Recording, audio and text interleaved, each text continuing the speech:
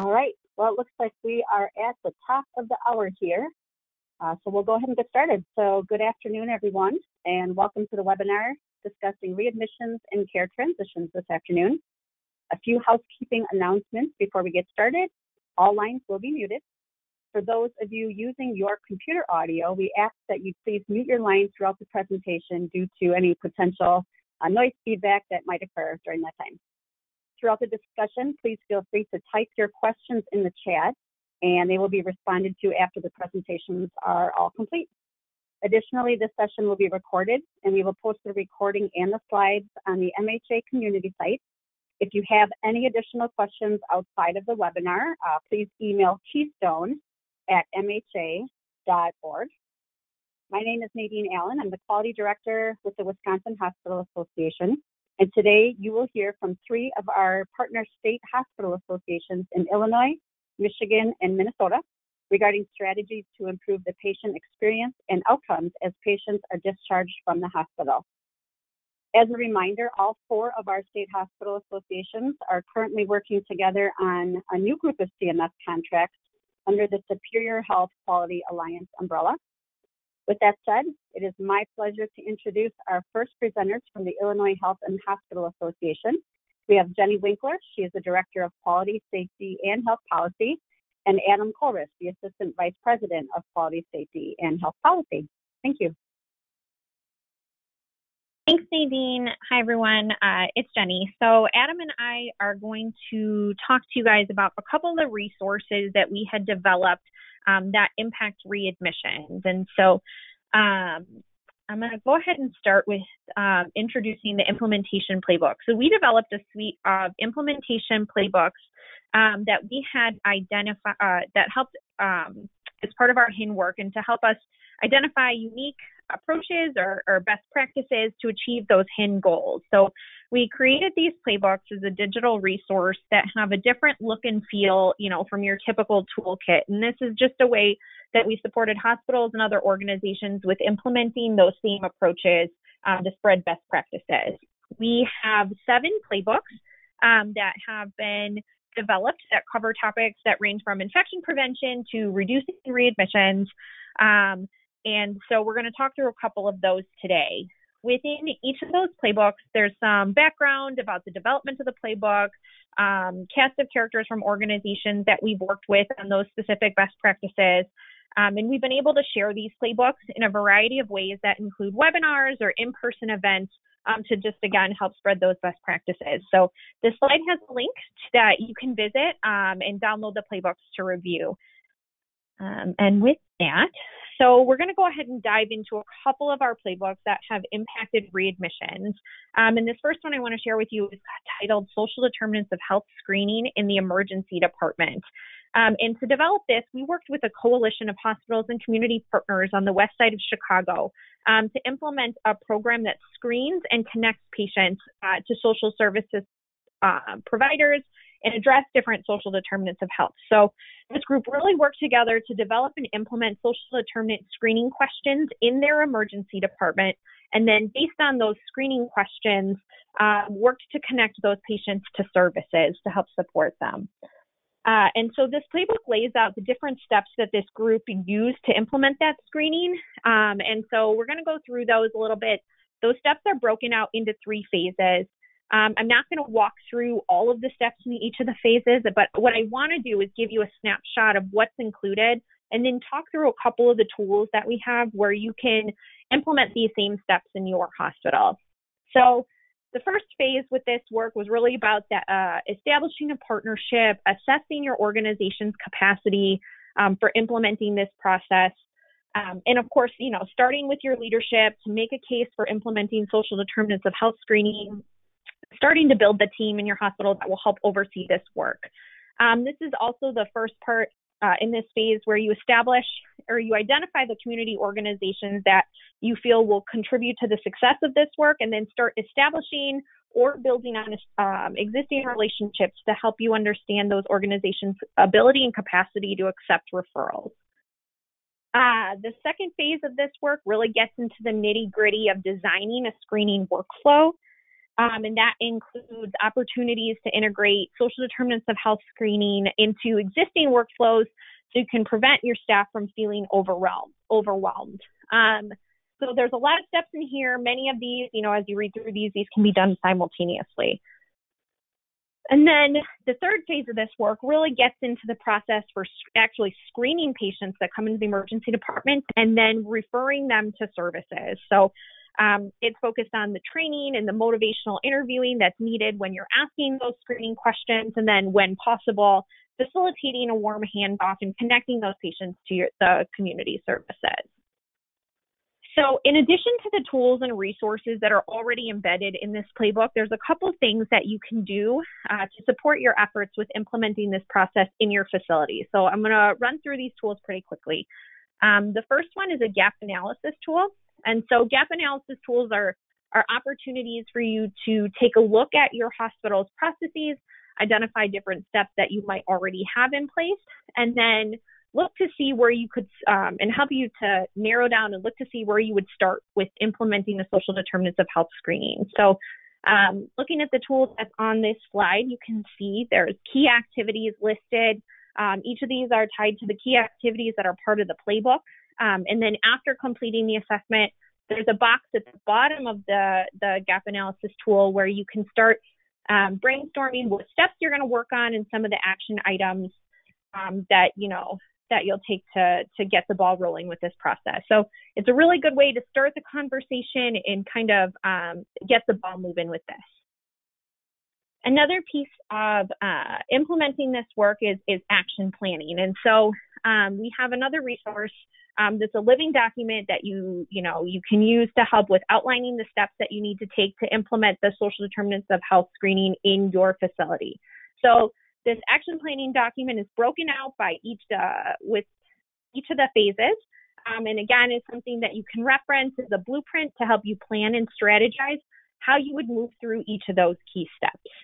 Um, so with that, I want to spend a couple minutes talking through a second playbook that we've developed. Um, also, uh, this one's called the Enhancing Partnerships to Address Social Determinants of Health. Um, and so this playbook is really designed to support hospitals and community organizations with implementing a program that identifies social determinants of health needs in the community and then also working together to enhance the referral process to address a specific social determinant of health. So similar to the, the playbook that we just walked through, um, this playbook has tons of key steps um, you know, uh, to, to help your organization be successful with this program. Um, and this, this playbook is also broken out into three phases. And so as, as we're going to take a look high, at a high level at the different phases, I want to highlight a couple of the resources that we have in the playbook um, that can support you with implementing the same process in your organization. So the first phase here is really about um, identifying social determinants of health resources or gaps that exist in your hospital and then potentially within the community. And so again, with all of this work and with, with any project that you start, you know, securing your leadership buy-in is important um, to moving forward with the work. And so once you're, you secure buy-in with your leadership, then identifying those facilities in the community where your relationships already exist or or in an organization where you would like to develop or make a connection, um, and then and then starting that communication with that organization. Your hospital and your community partner will ultimately come together to talk about what resources each of you have available um, and any gaps in your in your processes that have been identified. But prior to that that initial meeting together, um, each organization should do some pre-work that includes identifying their internal resources, um, and also looking at what their internal processes are. And so, um, again, there's a variety of resources we have built into this playbook. Um, and so I want to share those with you. So this first resource just is an example of some of the screening questions that organizations or, or different hospitals can use to address social determinants of health. Um, another tool we have um, is something that we developed um, with uh, with our hospital and our community partners. And this is just a great resource. Um, it's called an opportunity assessment to help you identify you know, what what resources you have in place. Um, so I apologize. Looking at this slide, it appears really, really small. But on the left-hand side of this assessment, uh, there are a variety of statements that are related to specific social determinants of health. So, for example, you know, a patient expresses feelings of loneliness, or a patient eats most of their meals alone. Um, and so, what we encourage hospitals to do is, you know, as you read those statements and move across the tools, the the tool there are boxes um, that a hospital can answer whether they always, sometimes, or never have either have data available to identify these patients, um, and if there is a process in place in your organization to connect these patients to community organizations. Um, and then community organizations also have a similar assessment that they complete um, related to these same uh, corresponding social determinants of health. And so, again, we encourage organizations to complete this assessment or some type of assessment because it really helps guide the conversation when your hospital comes together with their community partner to identify strengths and area of opportunities um, in your work regarding social determinants of health. And so, um, in this, ooh, okay, I apologize. Um, slides a little bit crazy. Okay.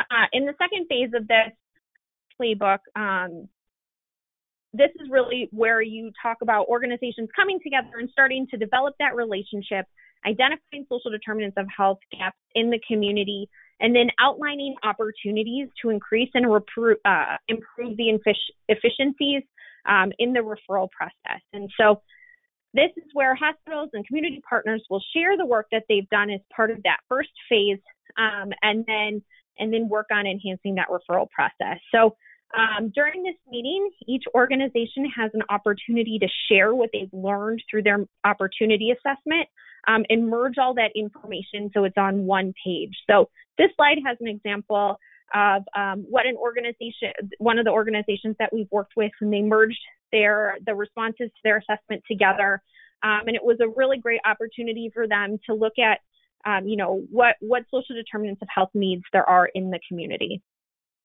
The other piece um, of this work is that when the hospital and community partners come together, it's, it's actually start mapping out the referral process that exists between organizations. And then when mapping out that referral process, doing so with as much detail as possible. So this slide lists a couple of the questions um, that you know we we posed for both organizations to keep in mind as they're starting to map out their referral process and focus on um, what social determinants of health needs there are in their community. So um, if you're able to meet in person with your community partners, that's wonderful.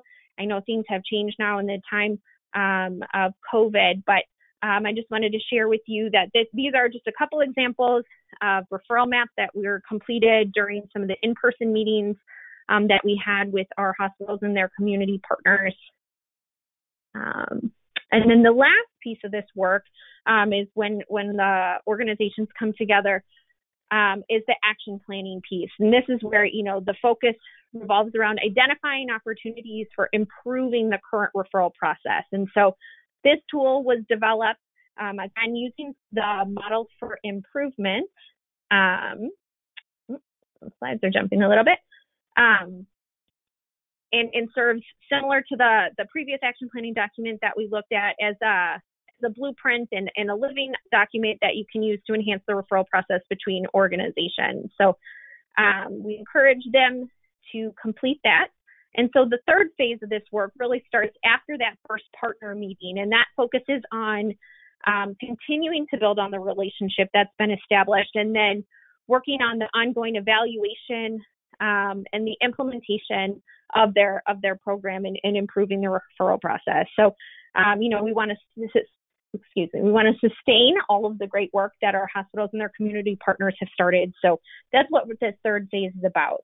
Um, and the last example, this slide um, gives an example of a completed action plan that we had um, that a couple of our groups have done and, and when they've engaged in this work, um, just so you can see, um, you know, a screenshot of, of what's been completed and, and, what others have worked on before. So um, those are some of the tools you can use for this. And now I'm going to hand it over to my teammate Adam who's going to talk about our last playbook and some of the tools that are used to support this work. Awesome. Thanks so much, Jenny, and thanks for teeing all that up.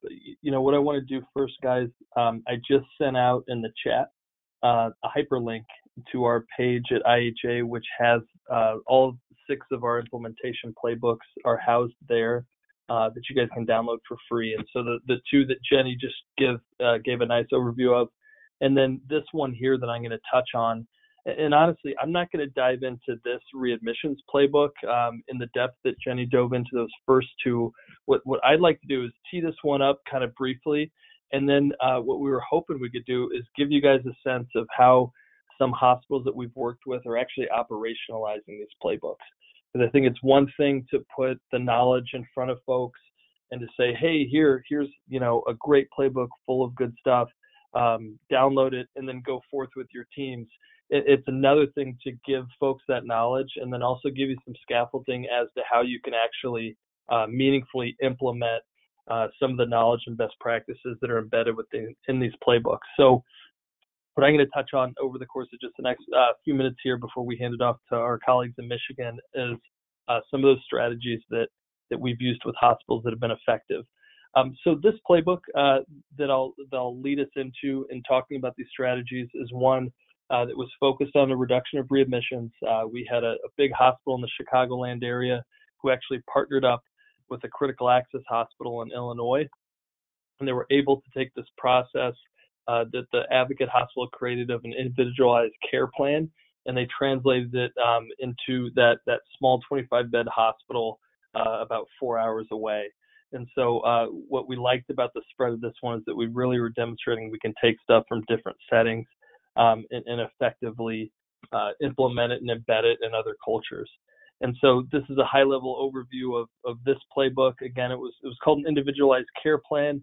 The nice thing about these playbooks and all these, as you download them, there's going to be a lot of these graphics, which Jenny touched on too. Um, and this is where the meat and the bones of these playbooks are. So all the hospitals who helped us design these were were very uh, open. Um, one of the first kind of prerequisites we had was if they were going to do this with us, we had to make sure all the materials they were going to create were in essence open source. Um, so as you click through these playbooks, look for these icons with a little cursor on them because those are going to be uh, the PowerPoints, the policies, uh, the competencies, um, all the different tools and resources that these teams built to operationalize these concepts. And so just a great treasure trove of, of not having to reinvent the wheel for you guys. So keep your eyes out for those. So, uh, like I said, I want to show you guys a few practical strategies which you could all pick up and apply to any of these playbooks, and not just these playbooks, but obviously other projects you guys are doing. Uh, these are just really a few effective uh, design uh, strategies that we've been using to, to implement this stuff. And so this slide touches on a day that we had um, many moons ago, pre-COVID, uh, over a year ago, up in Michigan, in which we launched this playbook, and we got teams together, and for a full day, we basically uh, worked through how hospitals could take that playbook and then start implementing aspects of it when they went home. And so the the beauty of this day, though, and that's why we wanted to highlight this, even though we did this in person with a bunch of folks, um, we we do have the tools uh, that you guys could use to operationalize this stuff um, outside of a setting with with IHA or MHA. So these are some strategies that, that we worked with to implement the uh, the playbooks.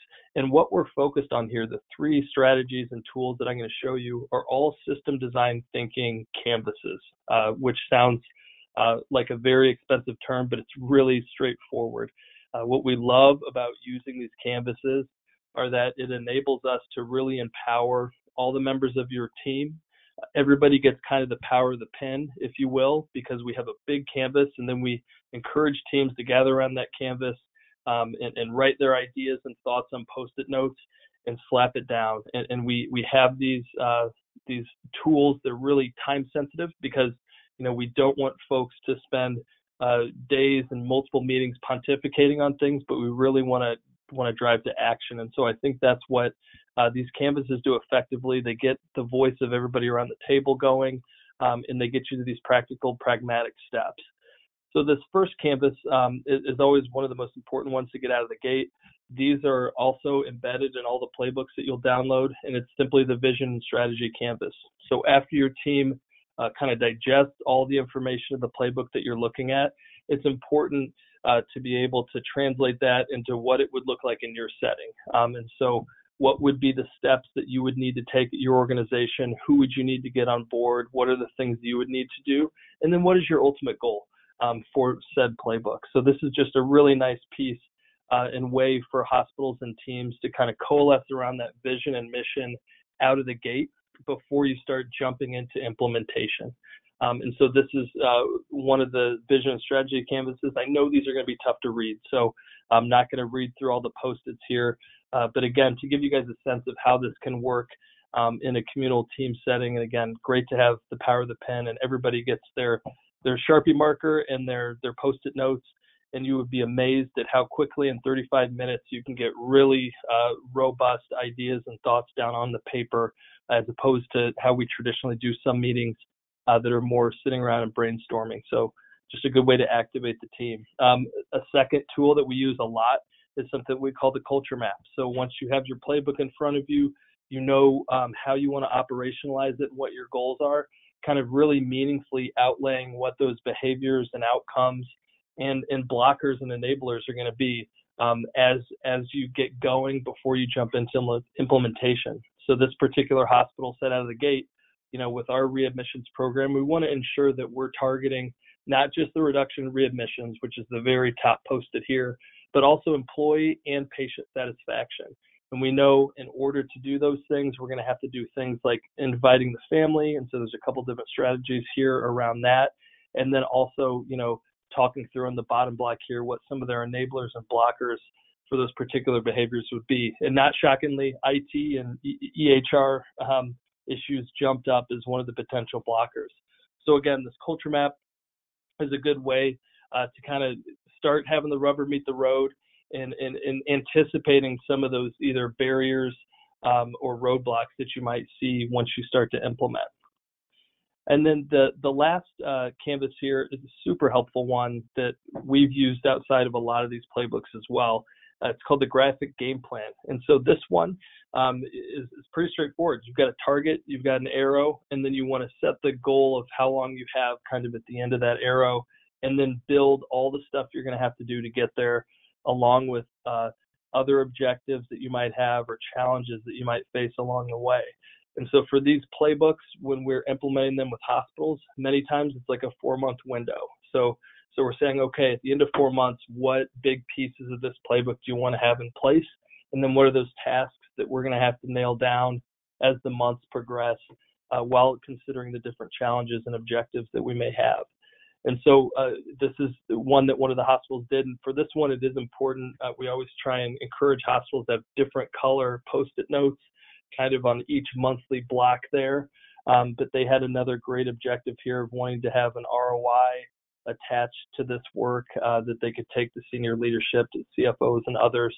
Uh, but again, um, just a nice graphic game plan slash time plan um, uh, document or resource here. And I know there's a, kind of a hundred different ways to to skin this cat, but this one has been an effective one, ensuring that teams are all able to empower folks around the table to um, to be able to say, yep, this is a task that's mine and I'm taking accountability for it here and I'm writing it down. And at the end of the day, after an hour or so, to have folks uh, all really together and on the same page.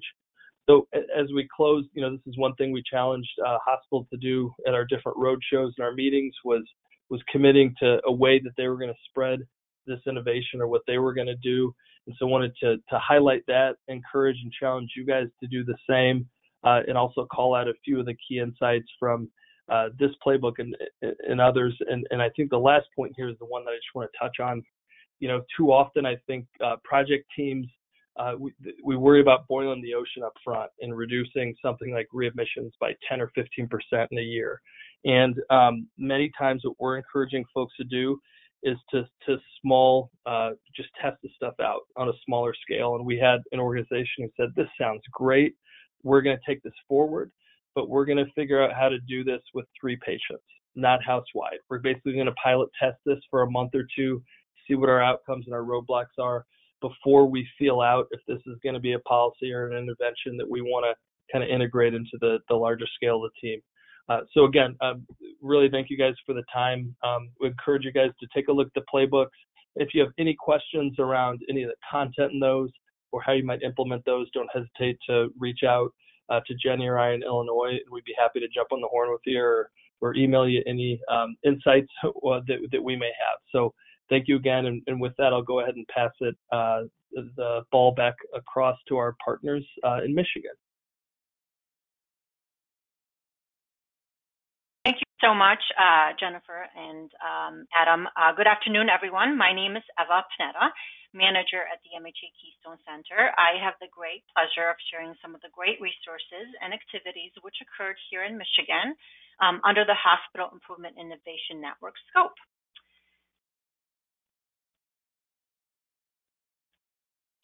During this portion of the presentation, you will hear about four specific improvement efforts. Uh, we hope you can utilize these resources and tools to advance your work in improving readmissions and addressing sustainability around this very important yet often challenging topic. So to start, oh my apology, uh, one of the early lessons learned around readmissions, which we identified through not only quantitative data trends, as well as qualitative information shared during monthly calls with our member hospitals, um, was the critical need to assess your root causes that lead to higher readmission rates specific to your organization. The Readmissions Improvement Action Network was a quality improvement initiative driven by the A3 problem solving methodology, a lean tool, which focused on clearly identifying the problem and correctly diagnosing it through a valid analysis of the root causes of your readmissions problem, not someone else's, Uh, so that the interventions you developed match the correct diagnoses. The activity provided an in-depth look on how to successfully develop and use the A3 tool by fostering dialogue within your whole organization developing problem solvers, and encouraging frontline engagement to successfully integrate lean methodology into organizational readmission efforts. Resources, tools, and handouts from the improvement activity are all available on the MHA community site. Link um, has been included on the slide for you. Another key area that emerged through our data analysis was the identification of sepsis as one of the leading causes of readmissions. With that in mind, we gathered two experts in the field, Pat Posa and Dr. Hallie Prescott, to develop an in-depth regional learning session along with supporting coaching webinars that focused on setting the stage of national and Michigan-specific epidemiology of sepsis readmissions and sharing strategies and best practices to prevent sepsis and reduce sepsis-related readmissions.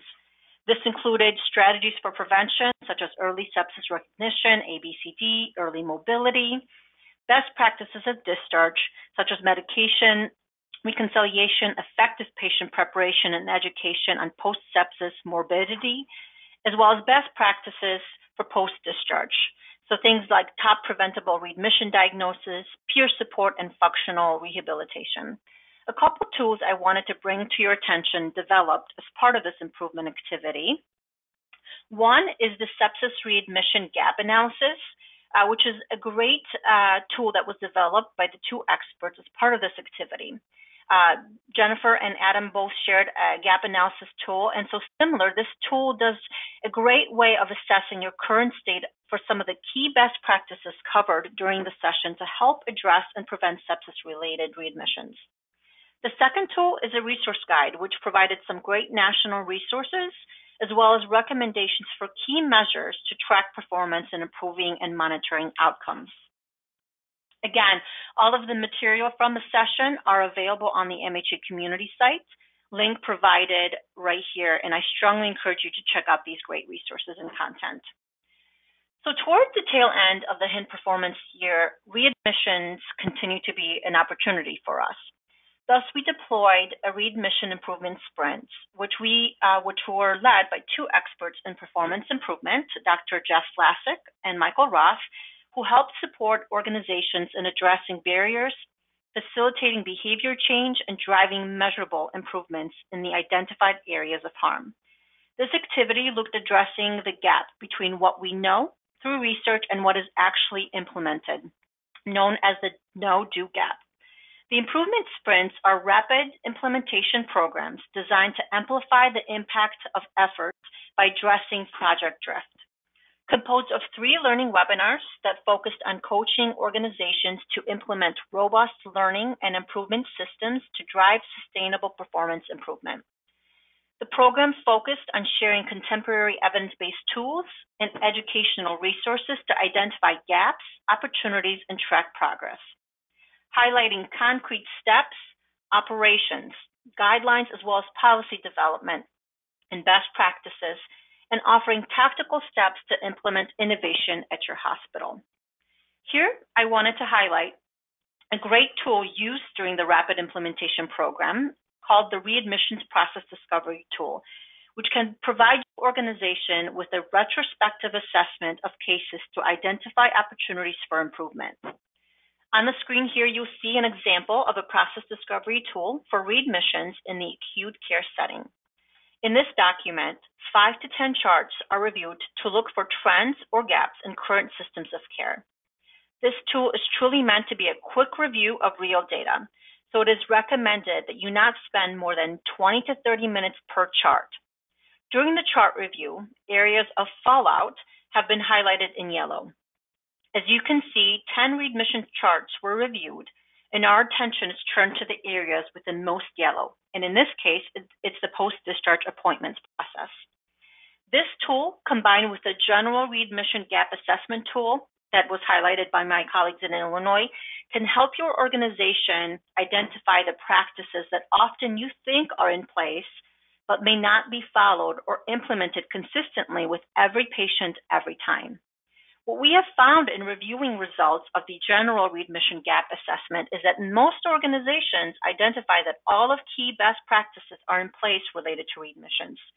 Yet readmissions continue to rise. Organizations found that when completing the process discovery tool, again highlighted on the screen, it gives you a great example of identifying the fallouts and providing you with an opportunity to ensure that these practices are hardwired and improved on. I think one of the key strategies for improvement is not always thinking that you have to do something new, but assessing what you're doing already or not doing and identifying how you can do it better.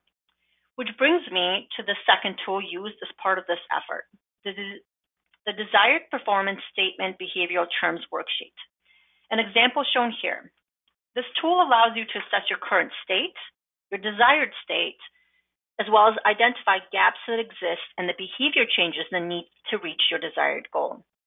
To achieve your desired performance state, the worksheet asks you to describe target behavior according to who needs to do what, when, where, and how often, and with whom. By detailing behavior specifications, you can begin identifying evidence practice gaps clarifying who needs to do what differently, identifying barriers and enablers, designing interventions, and providing indicators of what to measure to evaluate the intervention's effect on behavior change. Because often behavior change is what leads to final improvement. The two tools used during this activity are part of an innovative certificate program on implementation science which guides trainees on a framework and tools that facilitate a systematic approach to implementation process. I believe the improvement sprints are great improvement strategy that you can easily replicate at your facility or hospital wide, hospital system wide, for a rapid pace improvement effort that can help you identify specific areas of opportunities. So coaching, recordings, and um, the coaching call recordings as well as the handouts and additional resources, again, are found on the MHA community website. The Fundamentals to Readmission Resource Guide is another great tool we encourage you to review and help advance the work done in readmissions and care transitions. The comprehensive guide uh, uses evidence-based research to provide vital and fundamental strategies for reducing readmissions and improving transitions of care. The tool begins by discussing the importance of proper care transitions and then highlights best practices through gold standard initiatives such as the interventions to reduce acute care transfers and state action on avoidable readmissions. The visual layout provides readers with a concise and actionable format to guide you with your program development and sustainment. You can find the guide on the link provided on the slide. I want to close by bringing a few resources to your attention that aren't readmission specific. The MHA Keystone Center deployed a series of learning activities and recently released a guide that focused on key strategies and resources to develop a comprehensive and coordinated strategy to reduce health disparities within healthcare organizations.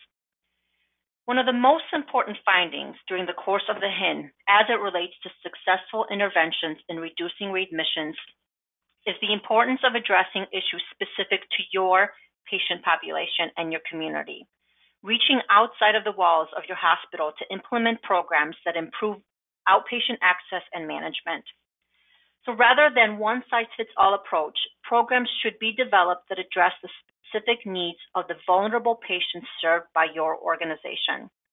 A hospital in one area of the state may have different needs than a hospital in another area.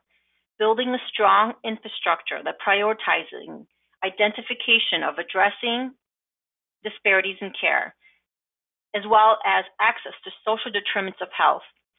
Strengthening your cultural competency, inclusion, and diversity within your organizations are all critical components of successful quality and safety improvement efforts. We hope that you will find some of these resources identified on this slide helpful in your journey towards achieving equity in care, as well as readmissions that concludes, uh, so this concludes my portion of the presentation. Again, we hope you will find these resources and tools helpful on your readmission improvement journey. I want to thank you for your time, and I will now hand it over to my colleague Tracy from the Minnesota Hospital Association. Hi, well, thank you, Eva, for that wonderful presentation. Um, I am going to go through um, and be reviewing a few of the approaches that MHA has taken to impact readmissions. Through the coordination of care and transition of care roadmaps, PFE and community collaboration, MHA has identified and I apologize that they're jumping a little bit here, um, has identified best practice standards, including tools and resources that can be utilized to improve hospital readmission rates. Minnesota's QIN, Stratis Health, participated in a grant with CMS to reduce readmissions for Medicare FF fee-for-service members. Nine coordination of care communities were created that included healthcare organizations across Minnesota, eastern North Dakota, and western Wisconsin.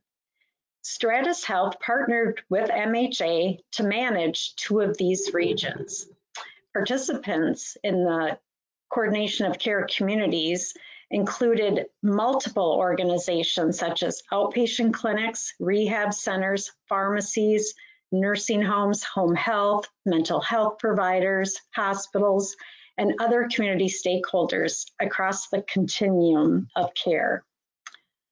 Goals established for each community was to improve quality of care for Medicare beneficiaries who are transitioning between settings, reduce 30-day hospital readmission rates by 20%, increase the number of days spent at home, and establish sustainable transferable transition practices across the spectrum. Quarterly meetings were held over a two-year period uh, to discuss the challenges and barriers leading to preventable readmissions. Members discussed ways to improve the coordination and transition of care for patients to improve handoffs, communication, identify community resources, to address patient disparities and social determinants of health and include topic matter experts who provided presentations on topics that affected patient recidivism. This slide shows several webinars that were provided through Lake Superior QIN. Um, if you are interested in listening to any of these recordings, there is a link on this screen that will take you to the website. where you can um, learn more about some successful stories. The Transitions of Care Roadmap was developed by a subgroup of MHA's Quality and Patient Safety Committee. The roadmap provides hospitals and health systems with evidence-based best practice recommendations and standards that are intended to align process improvement with measurable outcome data. The roadmap reflects published literature and guidance from relevant professional organizations and regulatory agencies, as well as identified proven practices. The MHA data portal is used and it is an interactive module with two tracks um, that, that match the roadmap, uh, both fundamental or advanced. There are operational definitions that give users additional information and determining whether or not they meet the intent of each of those recommendations. And then staff can attest whether they have met the requirement of that element by checking um, a box. And if you see at the bottom screen under this fundamental, um, you can see check boxes. And that's exactly what they do when they are in the portal in order to um, identify which ones that they have accomplished. So this shows you um, a little bit better of the breakout of how these roadmaps are structured. So they include several different, the design includes several elements. So one of them is the fundamental and advanced that we spoke of. And the goal is for organizations to first meet the um, recommendation for all the fundamental elements. And then if they feel that they still need to make progress or they haven't seen improvement that they were expecting, uh, then would be to go next to the advanced recommendations. There are also sections which are color coded here. They're organized this way and they are based on specific pillars of, of um, topics of care that improve the measure or improve what you're trying to do. The audit style, as I mentioned uh, with these check boxes, allows you to, you can print this out, uh, you can use it to take notes, you know, check boxes or, you know, put question marks down if you're not sure whether, whether you've reached that or not. There are also, again, I mentioned the operational definitions, and that helps just bring clarity to some of these recommendations and um, address any misinterpretation that can be taken. Um, also, uh, I forgot to mention that on the right column, there are links to multiple different resources that include journal articles, expert recommendation, um, order sets, and other pertinent tools that the organization could use to um, implement best practices or support change in implementing best practices. In late 2019, um, the readmission and PFE, patient family engagement specialists, uh, got together and developed and offered regional meetings to provide hospital discharge coordinators and members of the PFAC, which is patient family um, and I'm sorry, I'm driving complete blank, um, patient family um, council for the purpose of impacting the rate of readmissions through collaboration with hospital staff and patients. The voice of patients and their caregivers are important in us understanding, understanding the full scope of the problem and understanding the challenges that patients face once leaving the hospital. This allowed shared learnings and partnering to develop solutions. Also, these were uh, a list of the objectives that we wanted to accomplish at each regional meeting. Uh, we, we went through data uh, as all of the um, previous presenters had mentioned the importance of data to help guide you and understand your community. Strategies to reduce readmissions. We had a subject matter expert that uh, presented strategies, um, which was um, extremely helpful to get a outsider's thoughts and, and knowledge on the topic. We wanted to engage the community, um, address any barriers, and identify any resources that are that are within that community. Stakeholder engagement and collaboration, identifying responding to local readmission risks, review that transitions of care roadmap, and develop an action plan. So in order to address readmissions, you have to know your community, understanding the demographics, the health markers, the social determinants of health, looking at and analyzing regional data, state data, and national data to understand strengths and opportunities, where to focus your attention, attention and looking for vulnerabilities. So this gives an example showing the percent of people in poverty by region. And that can assist you in, in again, understanding the population you serve. And this can have an impact if um, if patients don't have a place to go, if they don't have a home, or if there is um, problems in the home, this can impact their health and their recovery. Um, I don't, oh, here it's coming. Sorry, it's a little slow. Uh, diabetes mortality trend. This is another example of regional data that you can look at to understand what is what is the vulnerability health vulnerability in our region that is, that is most impacting our admissions and readmissions. So prior to these meetings um, between the discharge staff of hospitals and patients, we sent out a survey.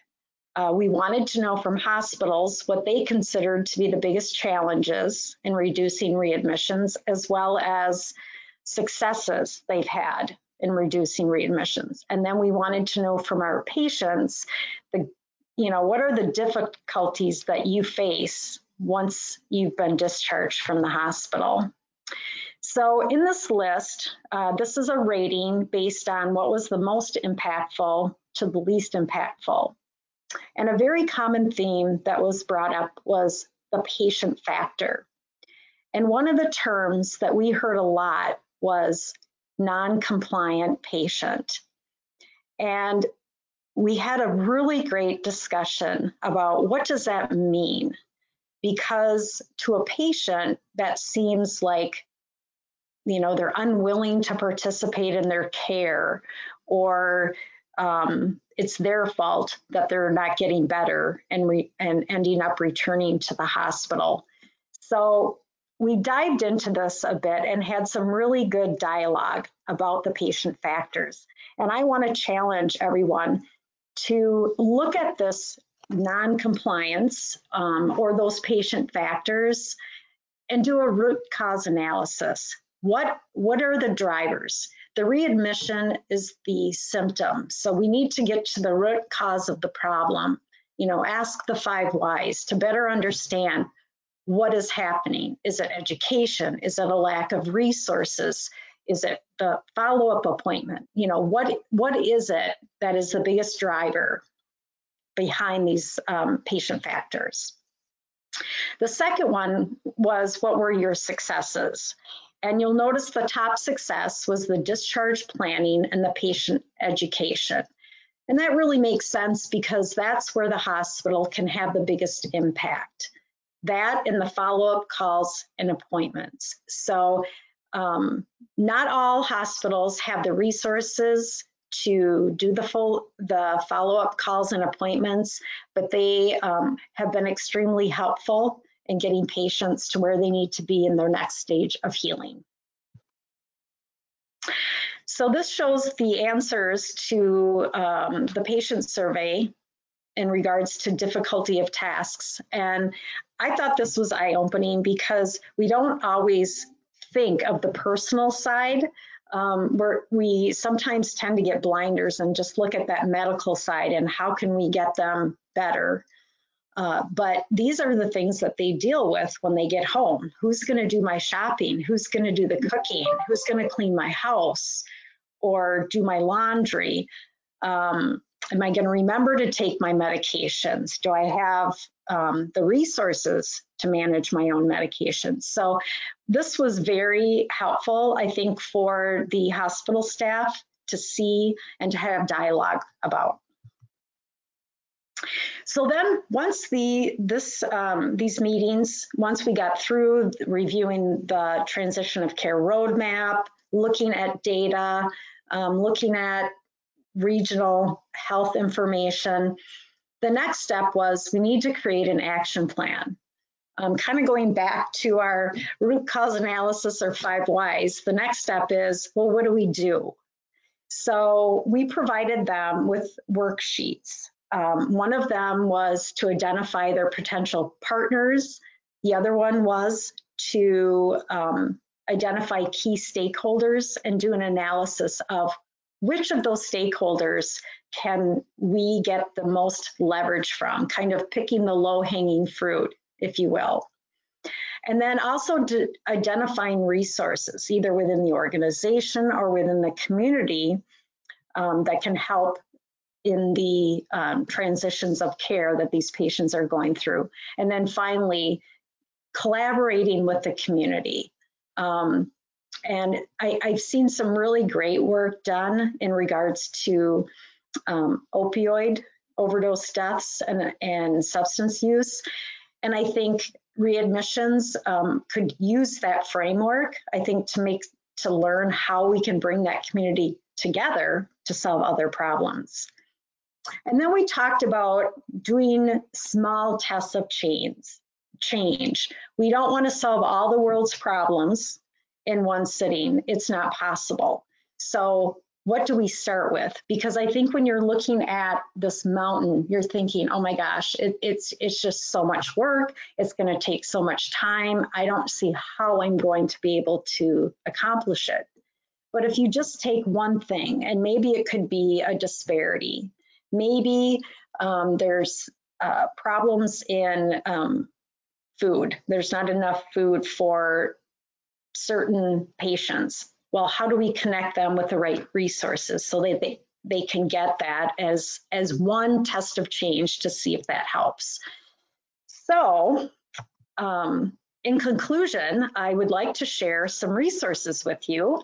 One of them is, of course, the Transitions of Care Roadmap. And then both Broad Street and Community Commons are two websites that provide data. Of course, the CDC, you can always find data there, and your state dashboards should also provide some useful information. So with that, I will turn it over to Nadine. Thank you, Tracy. And I uh, just want to say a really huge shout out and thank you to all of our presenters today, to Jenny and Adam, Eva and Tracy. Just thank you so much for all the continued collaboration, sharing the resources on the playbook, the improvement sprint, roadmaps, success stories. the list goes on and on. So I'm just encouraging and reminding people to go to the links that were included in both the chat box as well as following the links when you have the opportunity opportunity to get the slides. Um, so just make sure you go ahead and do that. And um, you'll see that everyone that presented today, their contact information is here on the slide showing, or if you uh, don't have a chance to write it down quick enough or access it on the slide deck, just feel free to reach back out through the invite. And I'm just going to hand it over here quickly to Naomi in case we have uh, any questions. Our only question in the chat box right now is for Eva regarding the playbooks and people are asking where like the location of the playbooks as well as just if they need login access.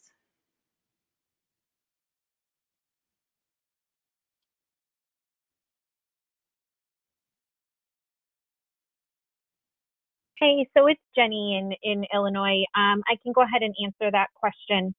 Um, so the so I think the link might have been shared a couple times. It's also in the slides, um, and it'll take you to a website um, that has all of the playbooks in one spot. So if you click on the playbook that you're interested in downloading, it'll take you to another page that has some additional information um, about that specific playbook. And in the lower right hand corner of the screen, uh, you'll be able to, to click on a prompt that says download the playbook. Um, and so if anyone has any questions or any issues, if they're trying to, to get access to those playbooks, please let us know um, and we'll, we'll help you work through those. Thank you, Jenny. And Nadine, that was it for the questions box. Okay, perfect. Thanks, Naomi. All right, well, with that, thank you to all the participants for your time today. It's great to see month after month all of the participation and people that have been able to make the time to join us. The recording and the slides will be posted shortly.